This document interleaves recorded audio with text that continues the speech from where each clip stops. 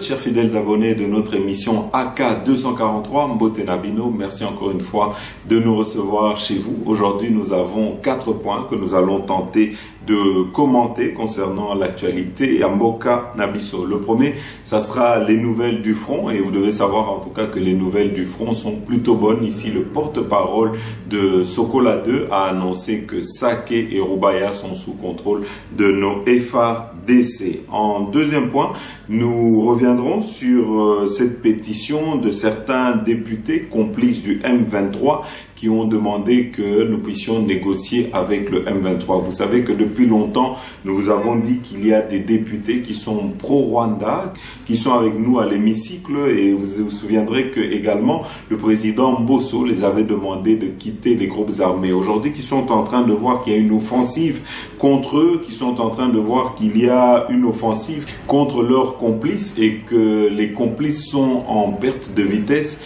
eh ben, nous les voyons, ils sont montés au créneau pour demander que nous puissions plutôt aller vers une négociation comme c'était le cas sous Joseph Kabila avec euh, ce que vous pouvez en tout cas imaginer, à savoir des brassages au sein de notre armée. Mais le chef de l'État avait dit que c'est terminé, il n'y aura plus jamais ce genre d'accord comme ça avait été le cas avec monsieur Joseph Kabila parce que ça avait clochardisé notre armée et ça avait affaibli notre armée du fait que nous avions infiltré notre armée avec des ennemis qui sont encore jusqu'aujourd'hui au sein de notre armée et vous savez que le chef de l'État a entrepris des réformes qui sont en train de permettre aujourd'hui le nettoyage au sein de notre armée. En tout cas, nous pensons que ces députés-là doivent être jugés et même arrêtés pour haute trahison parce qu'ils sont en train de montrer aujourd'hui euh, à la face du monde leur implication et leur complicité avec le M23 dont ils sont en train d'apporter un soutien, un soutien politique en demandant une négociation avec ceux-ci. Nous devons, nous devons des émissions d'il y a plus de neuf mois, huit mois, qu'il y avait eu un accord tacite qui avait été signé entre M. Kabila, M. Katumbi et M. Kagame. Et dans cet accord, c'est ce que nous sommes en train de voir aujourd'hui, ça devait passer par l'agression avec le M23. Et aujourd'hui, ces gens, même s'ils ne parlent pas, même s'ils dénoncent pas le Rwanda, c'est tout simplement parce qu'ils sont en lien avec le Rwanda, avec cette agression, ils y sont pour quelque chose. En troisième point, nous vous mettrons les réactions suite aux propos de M. Macron, mais il faut que nous puissions souligner, c'est qu'aujourd'hui, les Congolais doivent arrêter de rêver, d'espérer qu'on va les soutenir. Les Congolais doivent compter sur eux-mêmes. Nous devons en tout cas nous prendre en charge et le salut ne viendra que de nous-mêmes. Si nous espérons que c'est les paroles de M. Macron euh, dans lesquelles il peut dénoncer le Rwanda qui vont changer quelque chose, nous nous trompons. Nous avons vu et nous avons accueilli ici le pape François qui avait dénoncé l'agression dont sont victimes nos compatriotes à l'Est Abisso. Et malheureusement, comme vous pouvez l'imaginer, c'est que ça n'a rien apporté, ça n'a rien changé. Pour que les choses puissent changer, je crois que nous devons croire aux paroles du chef de l'État, du commandant suprême. Vous savez que c'est le même commandant suprême qui, à l'époque, on était en train de rigoler de lui, on se moquait de lui en disant, il est là, il est la marionnette de la Kabylie, mais il vous avait promis qu'il allait déboulonner le système de Joseph Kabila. Vous avez vu vous-même, ça avait commencé avec Madame Janine Mabunda, après avec Monsieur Tambo Mwamba et Monsieur Joseph Kabila aujourd'hui est aux abonnés absents dans la politique Yambo Nabiso. Et donc, quand Monsieur Félix Antoine Tshisekedi vous dit quelque chose, je pense qu'il faut le prendre au sérieux. Et moi, en tout cas, euh, je ne peux que être là comme une personne qui a foi, qui croit en son pays, comme un patriote, je ne pourrais pas être là pour essayer toujours de vous apporter des mauvaises nouvelles ou de vous apporter des mauvaises informations. Si vous vous attendez à ce que je sois là pour démoraliser les troupes, pour démoraliser nos FRDC, vous vous êtes trompé de chaîne parce que chez nous, ça n'arrivera pas. Nous serons toujours là pour apporter des bonnes nouvelles et pour donner espoir à notre nation. En quatrième point, et nous terminerons par là, nous vous mettrons la conférence de presse de M. Denis Kadima parce que vous devez savoir que l'opposition est en train de multiplier ces derniers jours des fake news, des intoxications concernant une future et probable euh, tricherie qui est en train de se préparer à haut niveau au sein de la CENI avec euh, à la tête euh, le président de la République qui serait en train de manœuvrer pour tricher alors que il n'en est rien. Ici, vous écouterez en tout cas les propos de monsieur Denis Kadima qui sont on ne peut plus clair et je crois que ça vous permettra de vous faire votre propre avis concernant Makambu, na déroulement, il y a un processus électoral qui sont en train de se dérouler actuellement. Il y a beaucoup de fake news sur des accidents avec des appareils qu'on aurait trouvé. En tout cas, monsieur Denis Kadima a rassuré et a apporté des précisions sur la plupart des manipulations Oyo,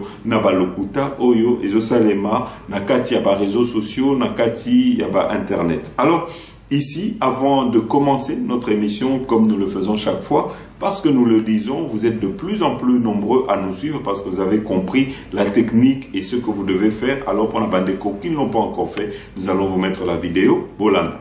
Chers compatriotes, vous n'êtes peut-être pas encore membre de la grande famille de tous les abonnés de RDC Source Info. Pas de panique. Il n'est pas trop tard. Je vous invite à appuyer sur le bouton abonner. Appuyez également sur le bouton notification.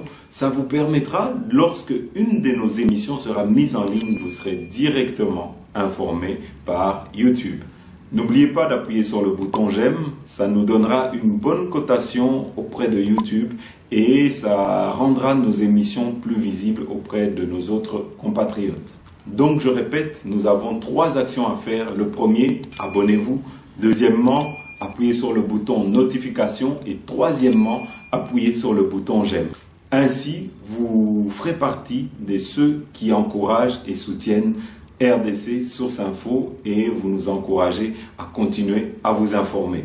Voilà, chers compatriotes. Alors, ici, premier point, vous devez savoir qu'il y a eu une offensive de nos FRDC à l'est de Yamboranabiso. Ils sont en train de sécuriser la ville de Sake et de Rubaya. Nous vous mettrons les images. Vous verrez vous-même les avions Sukhoi et nos hélicoptères qui sont en train de pilonner l'ennemi, qui sont en train de faire un travail énorme à l'est Abisso et ils sont en train de récupérer des territoires qui étaient sous contrôle du M23. Ici, Toroloba Mingite, nous allons vous mettre quelques images comme ça pour Binomoko et euh, vous devez savoir en tout cas, comme l'a dit le porte-parole de notre armée, c'est que aujourd'hui nos villes qui avaient été prises sous contrôle ou qui avaient été encerclées par le M23 sont en train d'être reprises les unes après les autres. Alors, Awat, Labino ba image, comme ça pour mon Abino Moko, comment tout ça est en train de se passer sur le terrain? Ah, euh, comme vous pouvez le voir derrière moi dans ces collines, c'est à Kimoka. Je pense que vous êtes en train d'écouter les coups des, des balles. C'est notre armée, FARDC, qui est en train de repousser l'ennemi dans les profondeurs. Donc nous sommes un peu loin de Sake, nous sommes à Kimoka. Euh, c'est juste une entrée qui donne accès dans la cité de Sake. Mais l'armée est toujours euh, dans ces montagnes-là, derrière moi. Comme vous voyez là-bas. Toutes ces montagnes ici sont contrôlées par euh, notre armée. Jusque-là. Maintenant, nous sommes lundi, le, 20, le 29.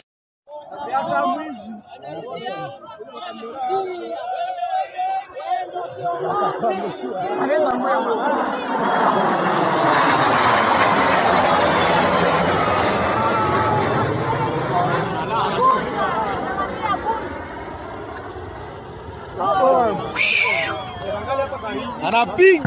Alors nous allons vous lire les nouvelles Yambo Canabiso. La ville de Goma et la cité de Sake sont hors de toute menace des rebelles du M23 et de leurs alliés, a assuré le porte-parole militaire de Sokola 2, le lieutenant-colonel Guillaume Guike Kaiko, ce mardi 28 février aux médias. Il affirme que ces rebelles ont été repoussés par les FARDC au-delà du village Kingi où ils sont poursuivis par l'armée. Kingi est à une dizaine de kilomètres au nord de Sake. Cet officier de l'armée congolaise affirme aussi le contrôle total de la cité minière de Roubaïa par les FRDC sans donner beaucoup de détails. Je dois ici rassurer la population de Goma, de Saké, même de Roubaïa. Il est vrai que l'ennemi a menacé tous ces axes, mais aujourd'hui, avec les efforts fournis par les FRDC, je tiens à vous confirmer ici que Roubaïa, cette cité minière, est sous contrôle des FRDC, a annoncé le lieutenant-colonel Guillaume Guiquet. Mais aussi, à Saké, où l'ennemi a tenté de créer la sécurité et sous contrôle des FRDC, l'ennemi a subi la puissance de feu des FRDC et il continue à subir cette puissance. Puisque l'ennemi continue à reculer, au moment où je vous parle, ni Saké, ni Goma, ni Rubaya aucune de ces entités n'est menacée parce que les FRDC ont été instruites de protéger toutes ces cités, mais aussi la ville de Goma et de repousser l'ennemi. À l'heure où je vous parle, nous sommes au-delà de Kingi, a-t-il conclu. Il appelle la population au calme et à soutenir les efforts des FRDC. Donc c'est pour l'occasion de rassurer la population de Goma et de Sake qu'elle continue à soutenir son armée et c'est ensemble nous allons ramener l'armée rwandaise et ses supplétifs du M23 d'où ils sont venus. En tout cas, Bandeko, vous devez savoir que tout ça qui va message de certains de nos compatriotes qui, je crois, ne sont pas du tout patriotes ici, qui voulaient que nous puissions vous donner des mauvaises nouvelles, qui voulaient que nous puissions vous dire que la situation est catastrophique, que le M23 est en train de gagner du terrain, que nos FRDC sont en train de perdre du terrain. En tout cas, vous vous êtes trompé d'endroit. Nous, nous aurons toujours la foi que nous allons récupérer Mbouranabissou, que chaque territoire, que chaque centimètre qui a été pris par nos adversaires, par nos ennemis, seront récupérés par nos FRDC. Si vous avez l'habitude peut-être d'aller dans d'autres chaînes dans lesquelles il y a des 10 heures de mauvaises aventures, chez nous en tout cas, nous sommes là, nous avons la foi et nous croyons aux paroles du chef de l'État qui a dit que les aventures de M. Paul Kagame en RDC vont s'arrêter et nous croyons que cela va effectivement prendre fin dans pas longtemps. J'ai toujours eu cette, ce don-là de, très bien connaître les gens. Euh, c'est pour ça que beaucoup pensent que euh, je me fais avoir, mais en réalité, non. Parce que même quand quelqu'un pense qu'il est plus malin, oui, moi je sais qu'il pense ça et je sais euh, à quel moment il va déchanter. Quoi. Donc voilà, donc je, je, me trompe rarement, mais je, voilà, c'est un peu ça. On va conclure, avec cette préoccupation. Voilà, chers compatriotes, pendant ce temps-là, vous devez savoir qu'ici, nous avons un groupe de députés qui sont en train de demander au gouvernement de plutôt négocier avec le M23. Nous vous avons dit que le mal du Congo était un mal profond et que ses racines se trouvaient au Congo même et que nous avons les traîtres parmi nous. Ici, nous avons un groupe de députés qui sont en train de demander à ce que nous puissions négocier avec le M23. Les députés provinciaux du Nord Kivu appellent à la résolution pacifique de la guerre à l'Est pour éviter d'autres morts. Il demande au président de prendre des mesures urgentes favorisant la poursuite du processus électoral en cours afin que les élections se tiennent à temps. Oui, les élections, je peux le dire, je peux le confirmer qu'avec la volonté que nous avons, se tiendront à temps, mais nous n'allons pas négocier avec le M23, nous n'allons pas les brasser dans notre armée comme c'était coutume sous Joseph Kabila. Non, nous n'allons pas céder à leurs revendications ni à leur chantage. Nous allons les combattre et nous allons les éradiquer. Voilà en tout cas la seule réponse que nous pouvons donner à ces députés traîtres complices de M23 il faut trouver au M23 un espace de négociation propre à lui. Un espace qui nous amènerait aux vieilles recettes, mixage, intégration, brassage, des places au gouvernement dans les provinces. Laissez-moi vous dire, Madame la Présidente, Madame, Mesdames et Messieurs les ambassadeurs, qu'il n'en sera plus question en RDC. Le président Tshisekedi, le Parlement national, le gouvernement national, l'ensemble du peuple congolais, nous ne voulons plus de ces recettes-là qu'on applique depuis 28 ans. C'est depuis 28 ans que nous sommes dans cette, dans cette crise. Il ne sera plus question de brassage. Il ne sera plus question de donner des positionnements politiques sans passer de procédure démocratique. Alors en troisième point, vous devez savoir que les propos de Monsieur Macron ont suscité plusieurs réactions, mais ce que je peux dire c'est que nous savons tous que la France a soutenu le Rwanda et soutient encore le Rwanda. Ils ont des partenariats entre eux, des partenariats militaires, mais nous devons en tout cas aujourd'hui faire ce qu'on appelle un lobbying fort. Nous devons faire tout pour que euh, ces gens qui ont soutenu le Rwanda et qui soutiennent encore le Rwanda aujourd'hui se rendent compte que chaque fois qu'ils soutiennent militairement ou euh, économiquement le Rwanda ou l'armée rwandaise, ils sont complices des massacres qui sont commis par le Rwanda. Je crois que nous devons les conscientiser et nous devons les mettre aujourd'hui devant leurs responsabilités. Et le fait de ne pas créer ce lobbying-là, de ne pas essayer de rapprocher ces gens-là qui soutiennent nos ennemis, je crois que c'est une grave erreur. Et je crois que cette politique du chef de l'État de tendre la main à ces personnes-là qui sont en train de dealer avec le Rwanda pour nos minerais et le fait que le chef de l'État est en train de mener une politique pour dire vous n'êtes pas obligé de dealer avec le Rwanda, vous pouvez directement dealer avec nous sans tuer nos enfants, nos fils et sans manipuler des groupes armés. Je crois que c'est la meilleure des solutions et c'est par là que viendra la paix et surtout la politique aussi militaire que nous avons décidé d'entreprendre. Parce que vous devez savoir que depuis que le président Félix Antoine Tshisekedi a refusé de négocier avec les Rwandais, vous devez savoir qu'il y a une coalition de ces forces du mal, de tous ces ennemis pour attaquer nos FRDC, sans compter les ennemis que nous avons au sein de notre armée, sans compter les soutiens politiques de cette opposition qui sont en coalition avec Paul Kagame.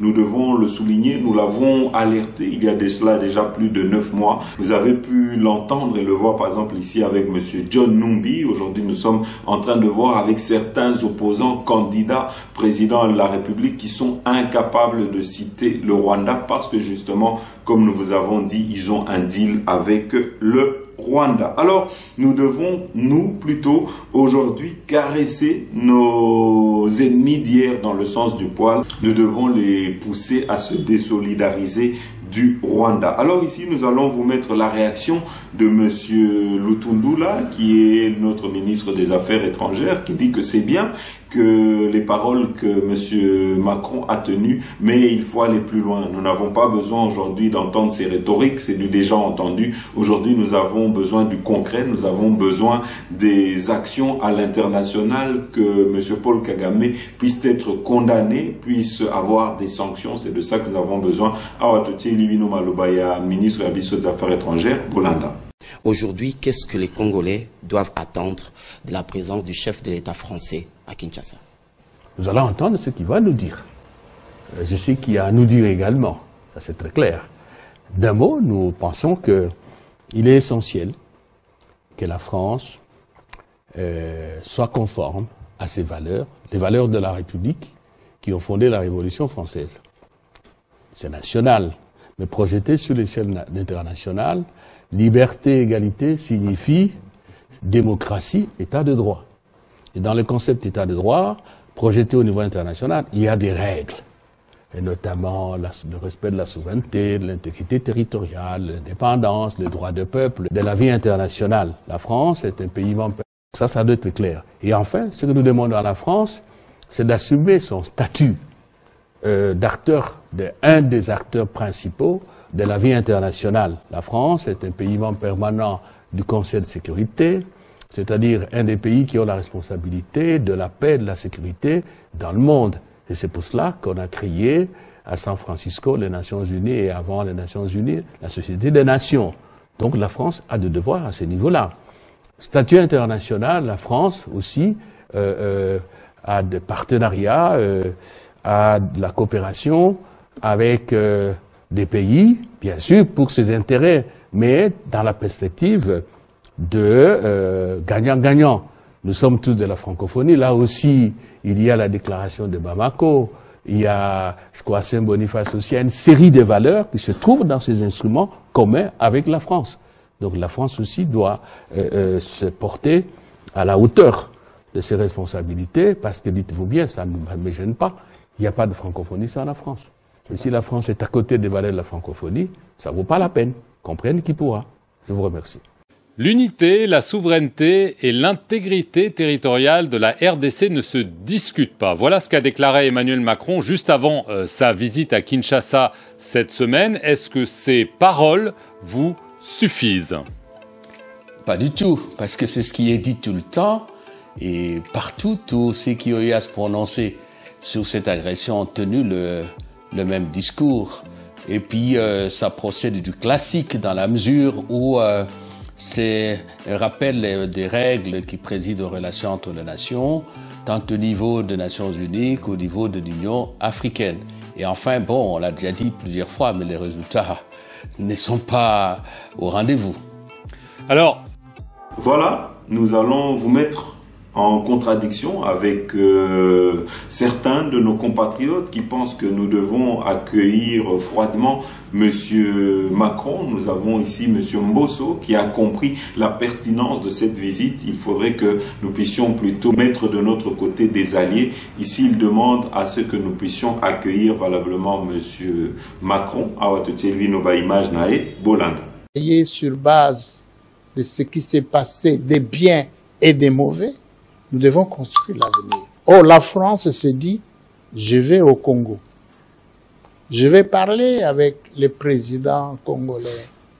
Je vais parler avec les autorités congolaises pour mettre en place une nouvelle coopération stratégique dans plusieurs domaines. Je crois que nous devons travailler pour l'avenir. Nous devons laisser tomber le passé, même si nous devons être prudents pour l'avenir, mais je crois travaillons pour l'avenir. Le président Macron arrive. Je demande au peuple congolais de bien l'accueillir.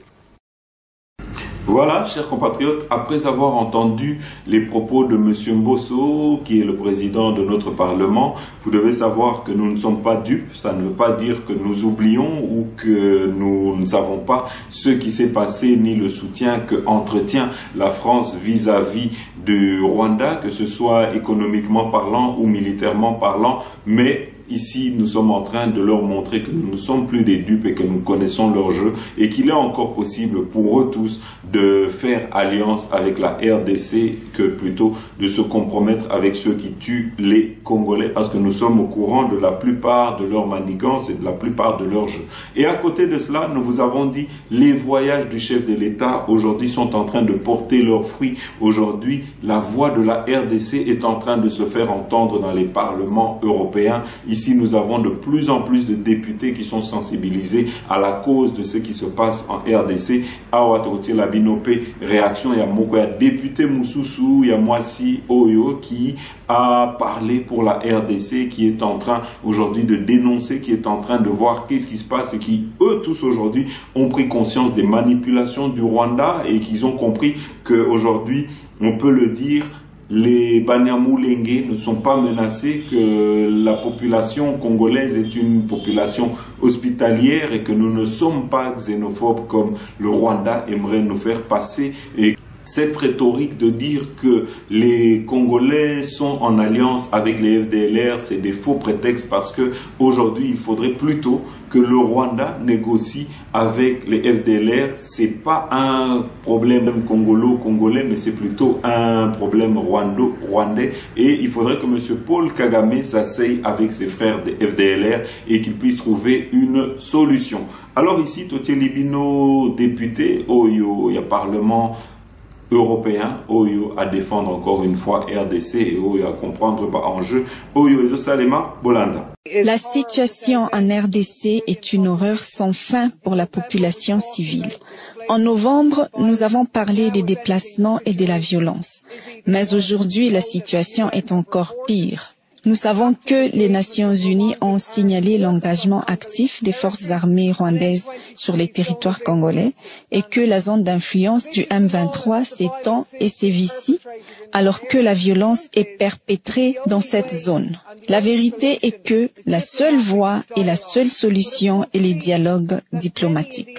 Mais il semblerait que de nombreux membres de la communauté internationale se moquent éperdument de ce qui se passe tant que leurs propres intérêts sont pris en compte. Que pouvons-nous attendre de la prochaine visite du président Macron en mars alors que la France est celle qui a poussé l'Union européenne à accorder un soutien de 20 millions d'euros à l'armée rwandaise au Mozambique pour protéger des intérêts de ces pays? Que pouvons-nous attendre de Londres qui a organisé les sommets de Kigali pour conclure un accord visant à renvoyer les demandeurs d'asile au Rwanda? En fait, la malédiction de la RDC se poursuit, les riches ressources naturelles étant pillées par d'autres. Que Dieu les aide à céder eux-mêmes, car ce n'est certainement pas l'Union européenne qui le fera. Voilà, chers compatriotes, ici, nous allons terminer notre émission avec le point de presse de Monsieur Denis Kadima. Vous savez, c'est qu'il y a un complot de la part de l'opposition qui cherche à discréditer le futur processus électoral qui aura lieu ici en RDC. Vous savez que c'est de la manipulation d'esprit. Euh, Balingi déjà qu'on préparait bah, Congolais à la révolte pour qu'ils ne puissent pas accepter les futurs résultats parce qu'ils savent qu'ils ne sont pas prêts pour les élections et qu'ils savent que s'ils allaient dans les élections contre le président Félix Antoine Tshisekedi qui a un bilan valable à défendre, ils vont perdre. Alors ici, ils sont en train de prendre les devants pour manipuler les plus faibles d'esprit. Alors, awa labino malobaya président Denis Kadima boyoka que la plupart des intoxications, des fake news qui circulent dans les réseaux sociaux concernant des machines à voter qui auraient été volées, en tout cas ici il précise et il donne de manière technique les informations Oyo et Taliba machine que même si Baïbi Ango tant que ce n'est pas connecté au serveur de la CENI, en tout cas, ça sera impossible qu'on puisse les manipuler. Et donc, Awa Libino, point de presse naïe, presse,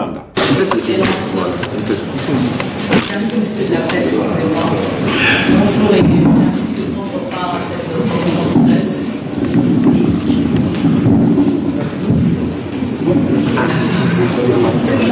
Je disais bonjour et merci de prendre part à cette conférence de presse le programme du jour se présente de la manière suivante. Nous allons commencer avec Madame le rapporteur qui va faire sa communication. Ensuite, nous allons prendre le président de la CENI qui va faire le point d'information. Sans plus tarder, nous allons accorder la parole à Madame euh, le rapporteur pour sa communication. Excellence, je vous en prie.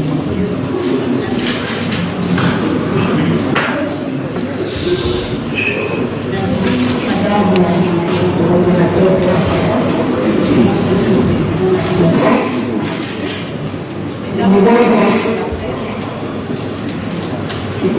au nom de l'Assemblée kenyenne de la Commission électorale nationale indépendante, je vous remercie d'avoir répondu à notre invitation. En effet, notre communication de ce jour porte sur quatre points, à savoir la clôture définitive des opérations d'identification et d'enrôlement dans l'ère opérationnelle 1, la récupération des jours non restés dans l'ère opérationnelle 2, l'évolution de la révision du fichier électoral dans l'ère opérationnelle 3, et enfin le point d'information qui vous sera présenté par le président de la CENI. S'agissant du premier point qui est clôture définitive des centres d'inscription dans l'ère opérationnelle 1, les opérations d'identification et d'enrôlement des électeurs dans les 10 provinces de l'ère opérationnelle 1 avaient été lancées le 24 décembre 2022 et devaient se terminer le 23 janvier 2023.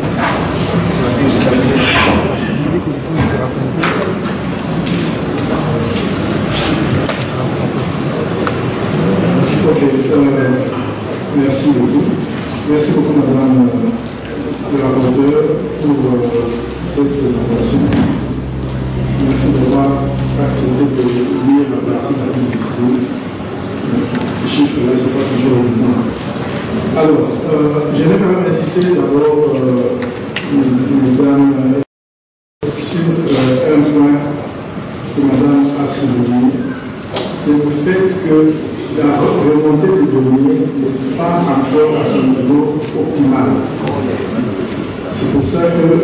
chiffres que vous avez sont vraiment provisoires.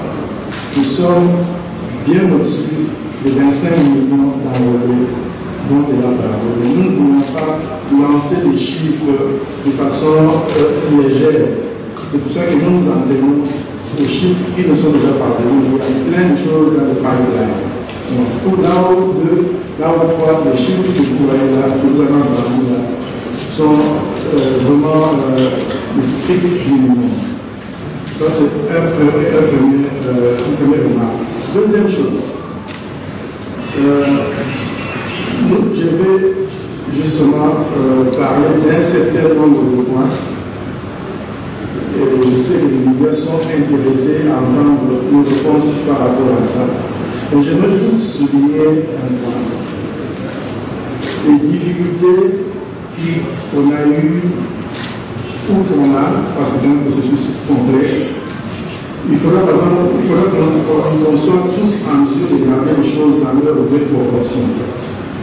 Je vais euh, l'expliquer. Nous avons commandé et euh, reçu près de 30 000 litres d'enrôlement. De temps en temps, il y a des gens qui essayent d'acquérir ces kits de façon abusive. Mais vous verrez qu'au total, il s'agit de 1, 2 ou 3 kits. Parfois, nous oublions que sur 30 000, le problème se pose pour 3, 4, 5 kits.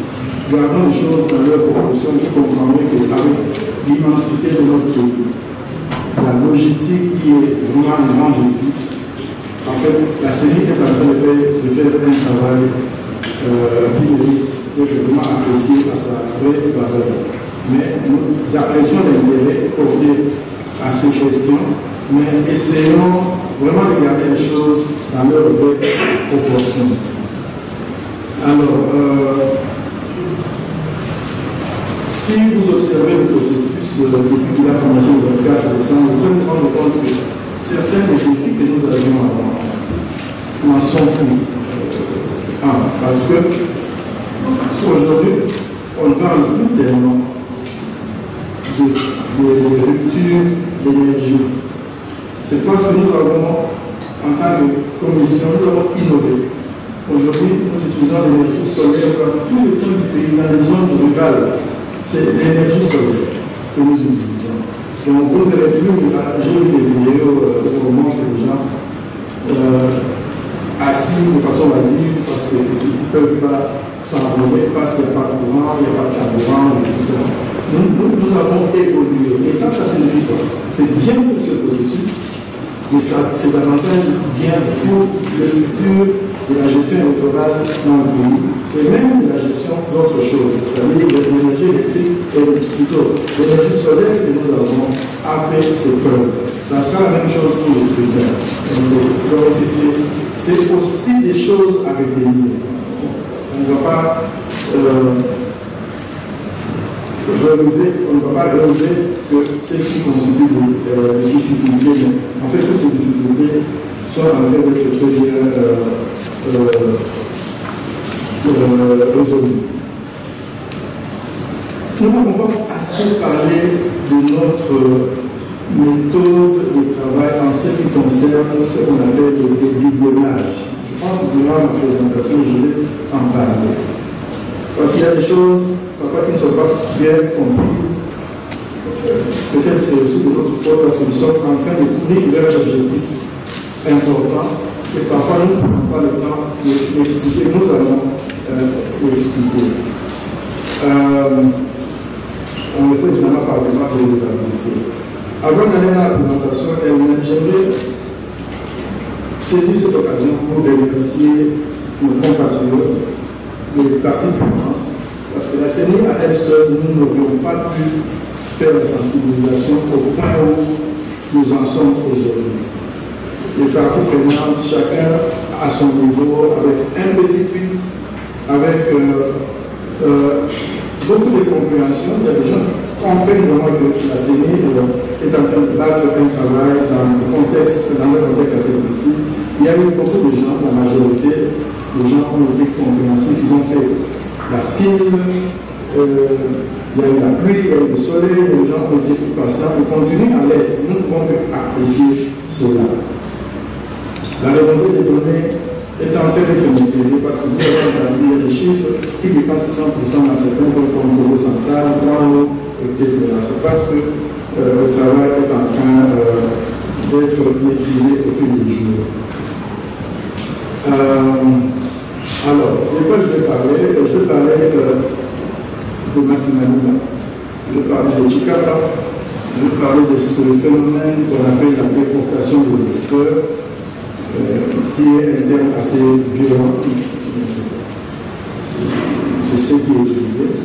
Nous utilisons plutôt le terme nomadisme électoral. Nous allons toucher à la situation sécuritaire. Nous allons aussi parler du, supposé déséquilibre dans la répartition des centres d'instruction. Nous allons euh, euh, parler du monnayage d'accès dans, dans, les centres d'instruction. Et essentiellement, ça sera ça. On va essayer d'aller vite parce que je pense que le plus important, c'est peut-être l'échange qu'on va avoir. En substance, euh, on a parlé de cartes de lecteurs, 300 cartes de lecteurs. Là, je parle de l'enseignement. Euh, on a parlé des cartes de lecteurs retrouvées sur un monsieur euh, ici à Kinshasa. Cette personne, comme nous savons tous, a été arrêtée et, la procédure judiciaire est en cours. il y a lieu de noter que certaines des informations que nous avons euh, dans, le, dans, le, réseau ne sont pas toujours euh, précises ou exactes. Nous avons entendu dans le milieu des enquêtes, par exemple, que ces cartes-là ne sont pas venues de nationalisme, c'est une série de chasseurs. Bon, ça serait intéressant. Qu'on voit comment la, conclusion sera faite par rapport à cette affaire. Et ça va changer tout la donne parce que tel que ça a été présenté, euh, ce n'est pas très clair en ce moment. Le monsieur a été arrêté à apparemment la série est celle de Kinshasa et de la Mais je ne peux pas vous confirmer cela, mais c'est une piste qui est en train d'être suivie. Donc, attendons que les choses évoluent. Et, nous allons, euh, à notre niveau, comme c'est nous allons euh, faire le débat pour que vous soyez toujours euh, bien informés. Mais dans tous les cas, euh, nous savons qu'il y a des gens qui s'intéressent beaucoup au matériel de la série, y compris les cartes de lecteurs. Et nous avons des cartes de lecteurs, le kit, les panneaux solaires, euh, tout ça, c'est vraiment parfait. En interne, nous faisons beaucoup, notamment nous avons euh, sanctionné le secrétaire exécutif provincial de la province de Cameroun n'est plus à son poste à cause de la euh, qui a été constatée, documentée et vécue avec la série. Il y a le, le justicien de l'antenne de Romongo dans la province l'Équateur qui a aussi été euh, sanctionné, ainsi que le justicien de l'antenne de Bungu à Kinshasa. Donc, c'est une matière qu'on aimerait voir. Euh, bien comprendre, mais j'espère vraiment que nous espérons que la police ou les enquêteurs vont aller vite. Chicapa, il y a eu un accident le 20 février à 15 km de la ville de Chicapa. Ce véhicule apparemment venu de Kinshasa. On a vu tous les images. Les images montrent un véhicule déchiqueté, avec euh, beaucoup de, de, sang, des gens blessés, vraiment blessés, des gens morts, décédés, disons. Mais dans la communication, les gens parlent des kits qui auraient été retrouvés et des cartes des lecteurs. Je ne sais pas si tout le monde a vu ces choses-là, mais tout le monde répète qu'il y a un kit qui a été euh, qui a disparu et qui avait des cartes de lecteurs. Mais quand nous regardons les images qui, étaient là, qui sont horribles à regarder, on voit des formulaires, rien que des formulaires. C'est tout ce qu'on a. Personne n'a vu le, kit. Nous avons une équipe de juristes de la CENI qui sont présentement à Chicapa. Ils ont rencontré les, les enquêteurs. Ils sont allés dans le village en question. Ils ont rencontré le chef du village, je ne sais pas quelle autorité de la place. Personne n'a vu un kit. on parle de kit disparu. Il faudra qu'on fasse très attention à la façon dont les choses sont communiquées. Nous risquons de prendre certaines choses pour la vérité alors que quelqu'un a lancé l'idée en disant qu'il y avait le kit, qu'il y avait le voiture, matériel, matériel de la série a été retrouvé sur place et chacun a ajouté ce qu'il pense être série. Mais les enquêtes se poursuivent.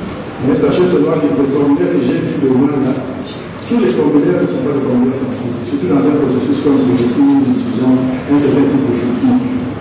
Si euh, nous avions voulu, si, si, la, si la, on dit que c'est le formulaire 01, je n'ai pas comment vérifier, on sera avec le temps. Mais si c'est le formulaire 01, il faut savoir que ce n'est pas un formulaire sensible. Il n'est pas numéroté. C'est un formulaire. Si nous voulions, nous pouvions le mettre, le rendre disponible en le téléchargeant ou bien en le donnant à travers son téléphone. Mais nous n'avons pas euh, fait cela parce que la machine d'enrôlement est extrêmement sensible. Il suffit de plier un peu ce formulaire-là. Ça ne peut pas être scanné. C'est pour ça que nous n'avons pas voulu mettre ça à la disposition des gens. Mais évidemment, il y a quelqu'un qui s'est arrangé pour avoir le formulaire de la CENI. On doit, on doit faire la lumière sur cette question. Mais je suis seulement en train de relativiser les choses pour dire que ce qui a été vu, ce n'est pas un matériel sensible. Ça n'a pas un grand impact sur nos opérations. Et d'ailleurs, d'ailleurs, si je vais même plus loin, je vais dire, ces gens qui, qui essaient de voler nos machines, je ne sais pas ce qu'ils espèrent faire avec. Parce qu'il faut d'abord voler, il faut avoir le moyen d'accès avec empreinte digitale, et puis à la fin de tout cela, il faut être en mesure de ramener ça dans notre système. C'est très compliqué. Et, euh, et, puis, je ne vais pas vous donner certains détails parce que ça risque d'inspirer les criminels. Mais sinon, il y a même, il y a même euh, ça ne peut pas, la machine ne peut pas fonctionner de façon continue. Il faut de temps en temps mettre, faire certaines choses. Donc ils prennent ça, ça sera un jouet pour leurs enfants. Alors, l'environnement politique, c'est dans le même ordre, c'est une infraction. Quand on s'envole plus d'une fois, pour des raisons qui ne sont pas reconnues par la loi, c'est une infraction. La peine peut aller, aller jusqu'à 6 ans. Donc, les gens doivent comprendre d'abord c'est quelque chose de criminel avant de commencer à s'enfanter. Euh, alors,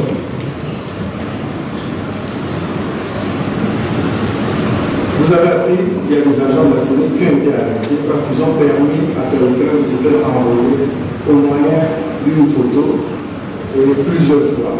Ces travailleurs ont été arrêtés parce que la CENI a facilement pu remonter jusqu'à la source. Donc, avec notre fraude d'hier et d'autres éléments, on ne peut pas dévoiler, nous avons pu, en un temps record, remonter, arriver et arrêter euh, les personnes, euh, les suspects, qui, après ce que j'ai suivi, sont passés euh, aux aveux, mais présentent ça comme un cas d'assistance à quelqu'un qui était malade. En fait, on les a induit, on les aurait induits en erreur. Mais ce qu'il faut retenir dans cette histoire, c'est que notre loi, particulièrement la, la loi sur l'identification et l'enrôlement des électeurs, est un peu différente des lois de beaucoup d'autres pays. Dans beaucoup de pays, qu'est-ce qui se passe? Vous venez vous enrôler, vous, vous venez vous faire enrôler. Et vous devez revenir après, je ne sais pas, 30 jours, 60 jours, 90 jours, pour récupérer la carte d'électeur. Mais les législateurs congolais, conscients du fait que les bases des infrastructures sont euh, assez euh, pas toujours euh, comme il faut, et que les gens, quand ils vont se faire enrôler, peut-être le premier jour, vous, n'allez pas vous placer en ordre utile dans la file. Le législateur a préféré que nous recevions nos cartes sur place. La loi le dit clairement. Vous venez, vous présentez votre identité, vous faites toutes ces formalités-là et on vous livre votre carte. Il y a des avantages à cela, mais il y a aussi des inconvénients. De même, ceux qui donnent la carte ultérieurement, il y a aussi des désavantages. On a vu dans le pays où, le jour du scrutin, vous avez, vous avez des milliers, si pas des millions de cartes d'électeurs difficiles à gérer, difficiles à, à, retirer. En RDC, on donne la carte sur place. Et quelle est la conséquence? La conséquence est que, comme nos machines, nos kits ne sont pas juste là, en fait, on n'est pas dans une lutte démocratique, on est dans des abus euh, très graves. Malheureusement, sur le plan légal, peut-être les juristes vont nous dire comment on peut empêcher cela, mais la loi n'empêche pas, si j'habite un quartier, d'aller dans un autre quartier. Alors, la situation sécuritaire, euh, vous le savez, je ne suis pas en train je ne suis pas expert en sécurité, mais je peux vous dire qu'il y a des territoires à Massissi, nous avons Eruchou, où nous pouvons, et même Kwamout, euh, parce que aussi est dans ce cas-là, où nous pourrons déployer des équipes que quand il y aura, aura un peu plus de sécurité après le ratissage de ces entités-là. Donc c'est, euh, à part ça, nous sommes en train d'envoler dans l'est du pays, un peu partout, et il y a même des groupes dans, dans, les qui ont mis euh, de côté de leurs armes pour permettre aux gens de s'envoler, ce qui est bien. Euh, mais, comme je disais, à part euh, Massissi, Ngambolo et Ruchuru, ailleurs, les gens s'inscrivent, notamment Goma, Walikane, le Véro, Bénévi et Béni Territoire, ainsi que Mutembo, plus de cas de personnes déplacées. Là aussi, nous nous, rendons dans ce camp, dans ce, dans ce camp pour les, les déplacés pour euh, Nous avons appris la semaine passée euh, juste un événement, ce n'est pas une situation généralisée. Mais même si c'est un cas, c'est un cas de trop, nous avons appris qu'il y a eu des, incidences de, violence euh, le 29 février contre euh, certaines personnes de la communauté qui voulaient s'inscrire, se faire inscrire au groupement Caro, Caro La CENI a condamné toute tentative d'exclure quelqu'un du processus électoral parce que la loi est très claire. Il faut que la CENI elle-même reçoive les documents de la personne et juge si cette personne peut être inscrite. Et si quelqu'un passe entre les mains de la CENI, nous affichons pendant 7 jours la liste des gens qui sont fait inscrire, on peut agir à ce niveau-là. Et à la fin de ce processus, nous allons aussi afficher une liste pour donner le temps, pour donner le temps aux Congolais d'aller euh, euh, faire des réclamations au cas où il y, aurait des gens sur la liste qui ne veulent pas y figurer. Donc, nous ne voulons pas que euh, la population prenne les choses mains parce que ça peut amener à des. Donc, suivons ce que la loi nous dit. Alors, qu'est-ce qu'on veut dire? Bon, mon âge, ça va venir. Je vois que vous avez trop d'argent. Donc, je vais à ça. Très bien, d'ailleurs. Je, vais évoquer le cas de, de, la cartographie où euh, on entend beaucoup de temps les, les, gens se plaignent que certaines provinces sont surreprésentées, d'autres sont moins représentées euh, en termes de centres d'instruction on peut comprendre ça. On peut comprendre que d'emblée, quand vous regardez le monde, vous avez vu que telle province à 1000, telle autre à, 500, on peut facilement penser à un cas d'abus. Mais les, critères sont très complexes. Imaginez, si nous n'avions que comme critère le poids démographique, ça serait très très facile. Très facile parce que ça serait unilinéaire. Mais ici, nous avons plusieurs critères. Il y en a au moins 8. Il y a le poids démographique, il y a l'étendue de la province, il y a la présence des groupes armés, il y a l'existence des conflits intercommunautaires. C'est des critères. Si un village, dans un, village et le village voisin ne s'entendent pas, vous prenez le centre d'inscription, vous mettez dans le village A, les gens du village B ne vont pas y aller. Donc il faut deux centres d'inscription. Et ça peut, du coup, ça peut affecter les critères démographiques. Donc c'est vraiment très complexe, contrairement à ce que nous pouvons penser. Il y a un autre le nombre de groupements par province. Selon la structure de la province, il y a des provinces qui ont beaucoup de groupements et d'autres qui en ont moins. Tout ça, c'est des facteurs dont il faut tenir compte. Euh, les obstacles naturels. S'il faut contourner une montagne, peut arriver à placer le centre d'inscription.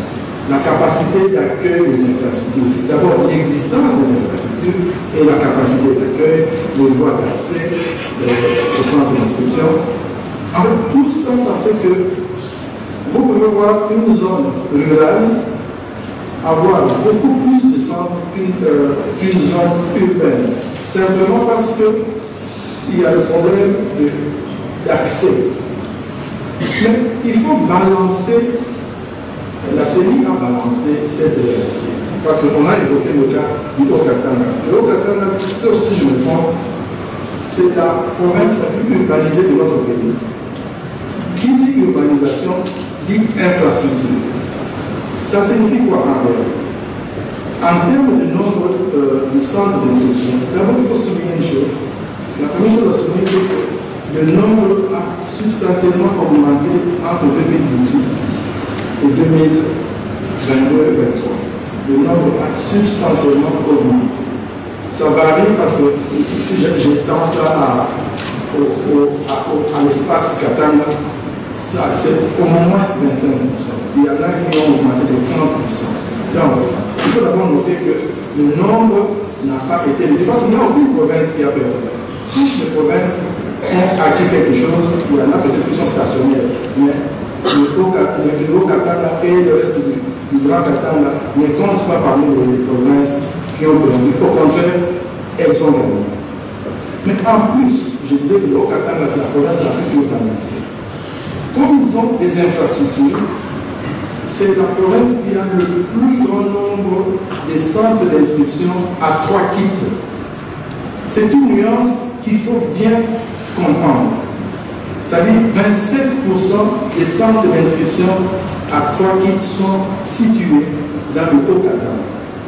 Donc, si sur le plan nombre, des centres essaimés à travers le pays, le nombre est relativement pareil petit. Ça ne reflète pas la réalité. La réalité, c'est qu'il y a beaucoup d'agglomérations là-bas. Vous avez Lubumbashi, vous avez Likasi, vous avez Kikuchi, vous avez Kasumalesa, vous avez Kambo. Donc vous avez vraiment des centres urbains où il y a beaucoup de gens, alors qu'ils ont généralement trois kits dans le centre. Du coup, le calcul est faussé si vous arrêtez au nombre de centres d'instruction. Ça, c'est quelque chose qu'il faut comprendre. Donc, à nos frères qui sont au Qatar, on a entendu les communiquer, nous voulons les rassurer qu'ils ont été pris en charge et qu'ils continueront à l'être. Il n'y a aucune injustice contre aucune de nos provinces. La, preuve, si vous prenez dans l'arbre euh, 1, vous verrez que nous avons reçu beaucoup d'appels. On nous on a dit ça, nous avons été, les gens se plaignaient et tout ça. Nous avons été patients. Aujourd'hui, les gens, nos, agents temporaires se plaignent. Ils se plaignent du fait que pourquoi nous continuons à ouvrir les centres, les gens ne viennent plus.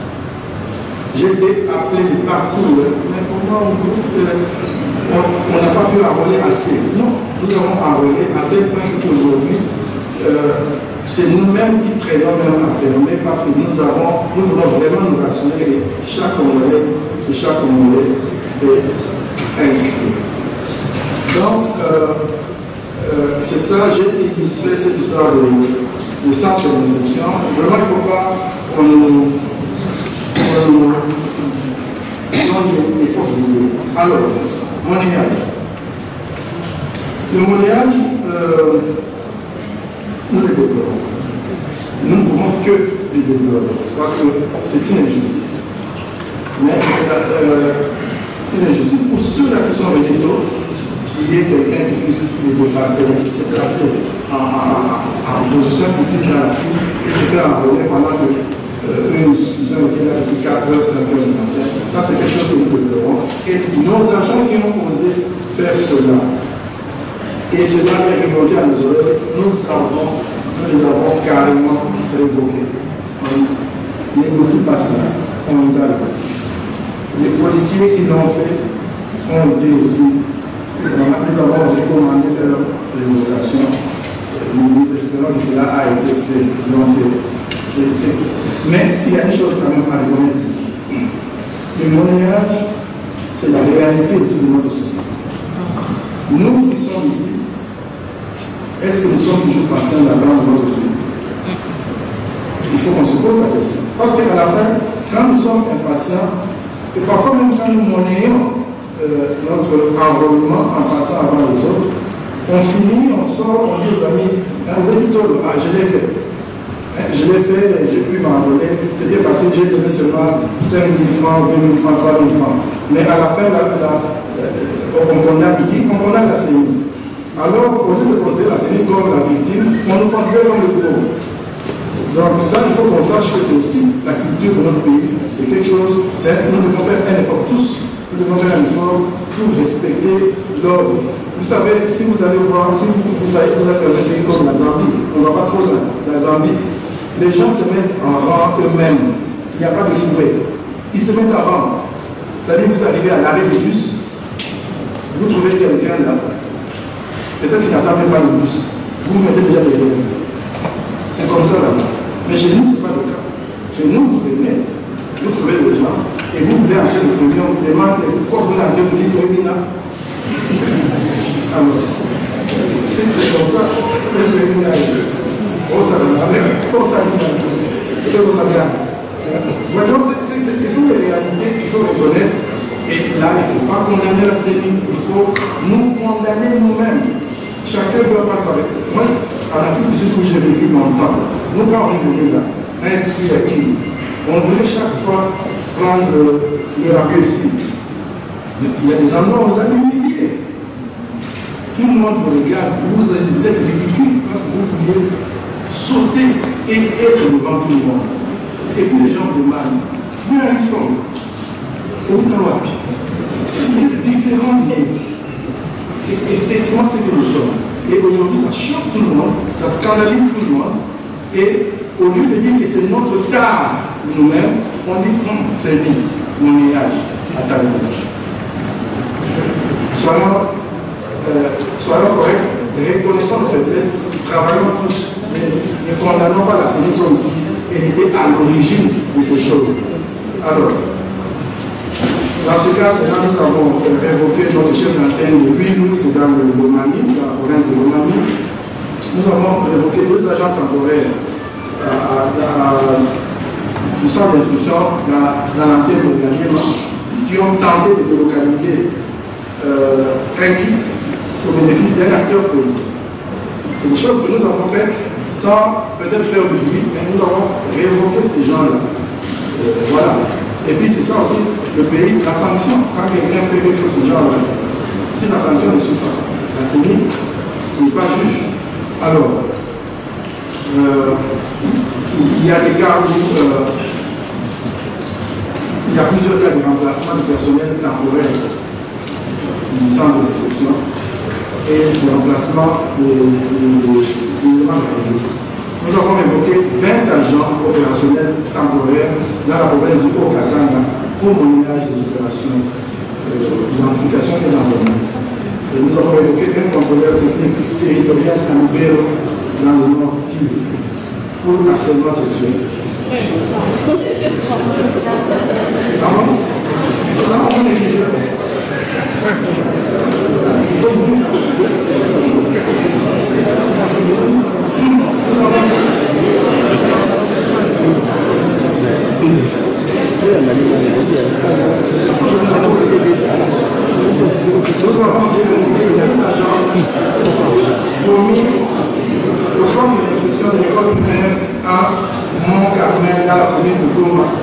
des opérations dans le monde. J'en profite pour vous informer que nous avons connu ce week-end un cas d'incendie, d'un centre d'instruction de la commune des climatique. Le, centre d'instruction euh, en question est situé au complexe scolaire Saint-Denis et ça a causé beaucoup de dégâts. Euh, nous avons compté la perte de deux ainsi que l'école a perdu beaucoup de documents scolaires. Mais, euh, pour terminer, euh, notons quand même que ce processus, la CENI l'a voulu transparent. Quand vous allez dans un centre d'inscription et vous trouvez que euh, ce centre n'existe pas, il ne faut pas vite conclure qu'il s'agit d'un centre fictif. Je vois cette gymnastique est faite très facilement.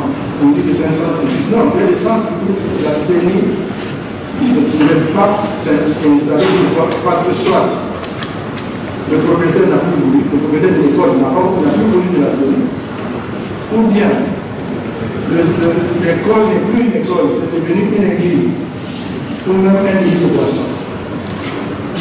Il y a beaucoup de cas comme ça, où la est basse. Donc c'est des cas comme ça. Donc il ne faut pas vite conclure qu'il s'agit d'un centre effectivement. Il s'agit des problèmes qui doivent empêcher euh, d'ouvrir certains centres d'inscription, mais en réalité, nous avons délocalisé. Alors, ce processus, nous avons, ce processus, nous l'avons ouvert, et je vais terminer par là, aux observateurs. Nous avons 13 organisations de la société civile qui ont été accréditées, avec un total de 1396 observateurs accrédités, dont 9 internationaux, 6 femmes, 3 hommes. Et pour les nationaux, nous avons 500 femmes, 520 femmes et 876 hommes. Quant aux journalistes, il y a 31 organes de presse qui ont été accrédités. Au total, donc 55 journalistes euh, dans le cadre international. Et pour les nationaux, c'est 13 femmes et 42 hommes. Nous avons eu un seul parti politique qui a demandé qu'on puisse accréditer ces événements. Au total, nous avons 8 témoins, donc 3 femmes et 5 hommes. La CENI rappelle que l'accréditation donne accès à l'observation des opérations dans les centres d'inscription. Alors, pourquoi nous avons permis ça? En fait, ce qu'ils font, on appelle ça l'observation long terme. La CENI veut que ces opérations soient observées bien longtemps avant le ski. Comme ça, s'il y a des problèmes, on peut déjà les relever, les soulever, et puis les solutions peuvent être apportées. Nous-mêmes, nous avons beaucoup bénéficié du travail des observateurs. Chaque fois que nous avons eu des observations, nous avons vérifié leur véracité. Et quand c'était vrai, nous avons agi. Donc, la CENI tient à ce que ce processus soit euh,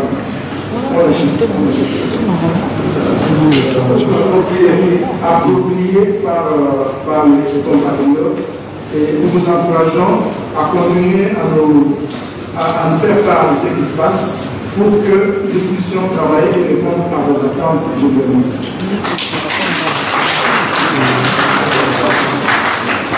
Merci.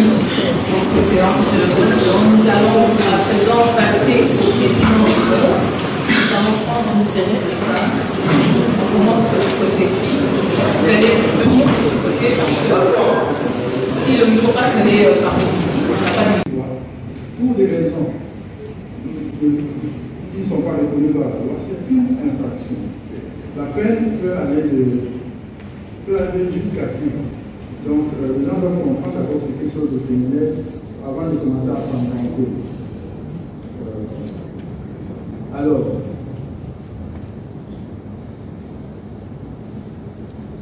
Vous avez appris qu'il y a des agents de la CENI qui ont été arrêtés parce qu'ils ont permis à quelqu'un de se faire envoyer au moyen d'une photo et plusieurs fois.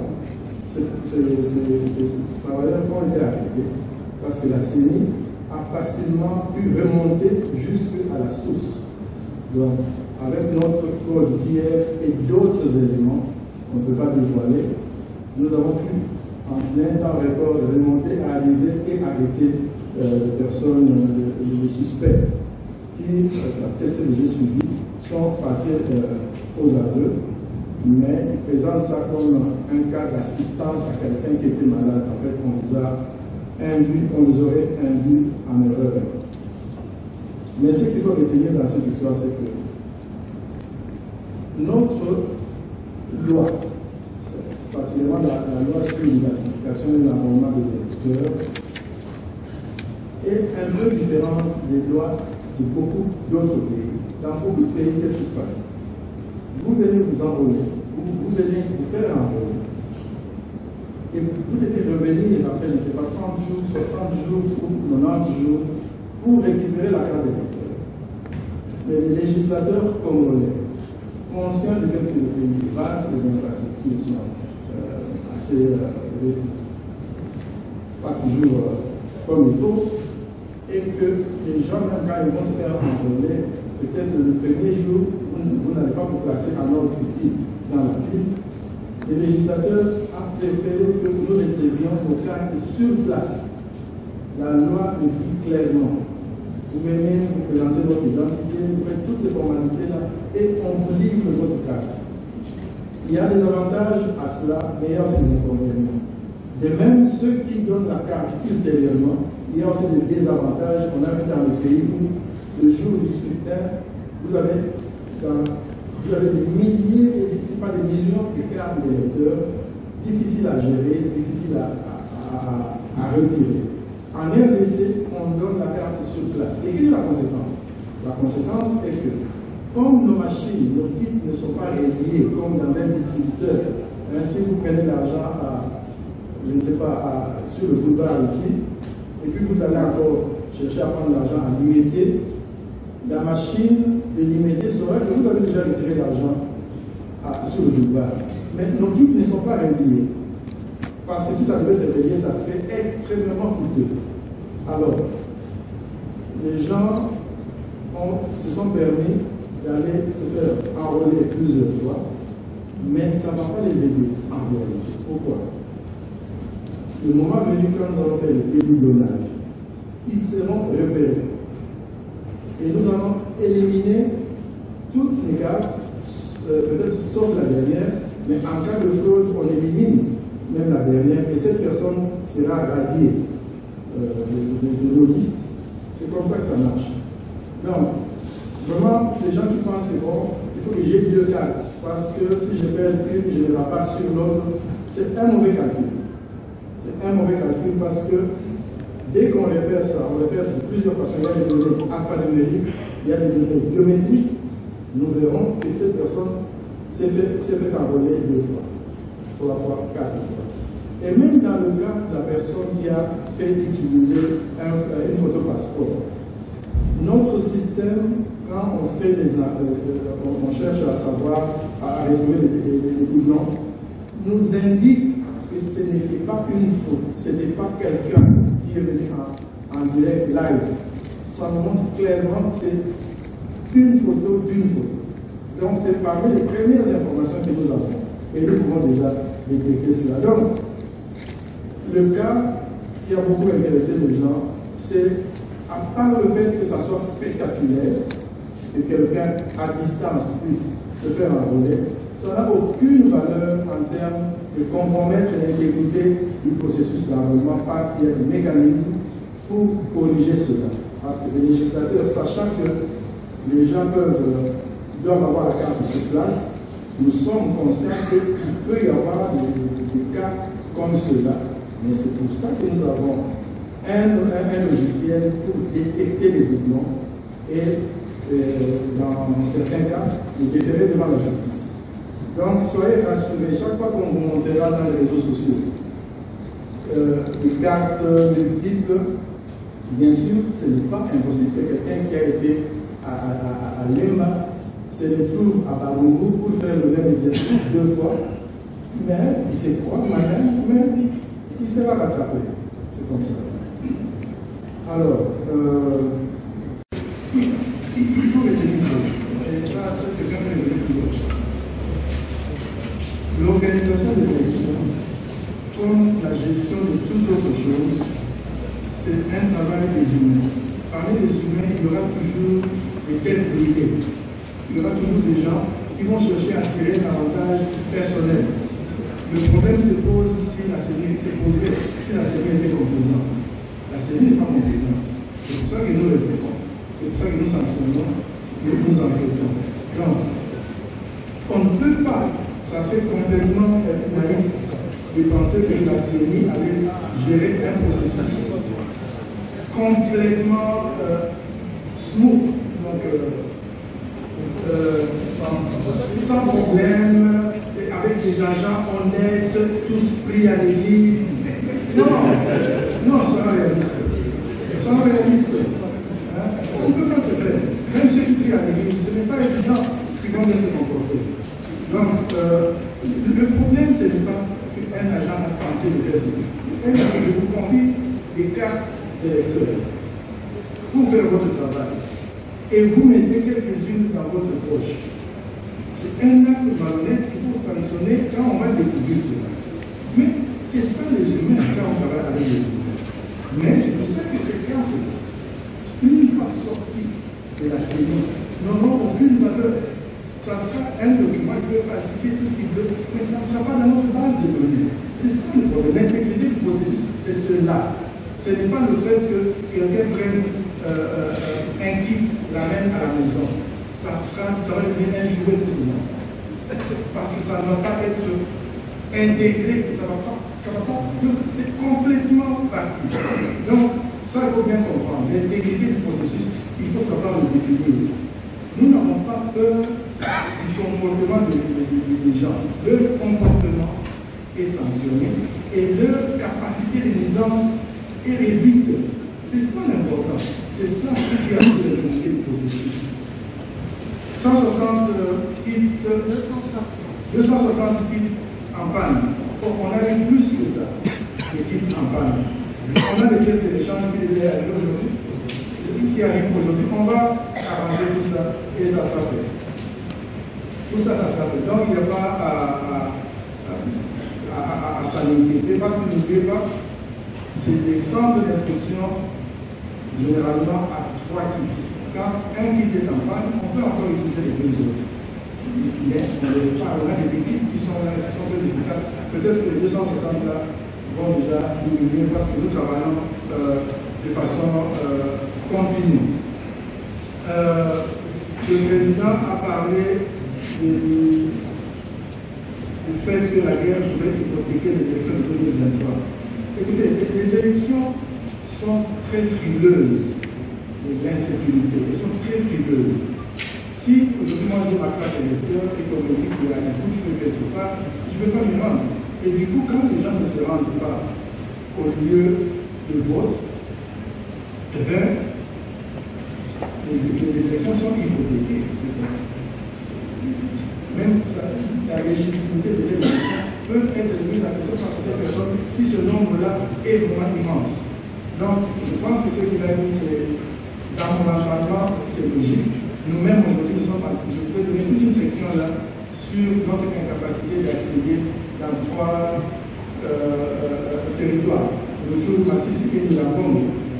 Malheureusement, c'est une réalité, mais nous espérons que nous avons encore 10 mois et que les négociations des autres méthodes pourront nous aider à avancer. Euh, monsieur, euh, monsieur Richard, vous êtes revenu sur la question du fait que tout ce que nous avons comme écueil puisse décrédibiliser le processus. Si nous sommes des perfectionnistes, nous voulons un processus qui marche à 100%. On n'en trouvera aucun dans le monde. Même Trump s'est plaint de son processus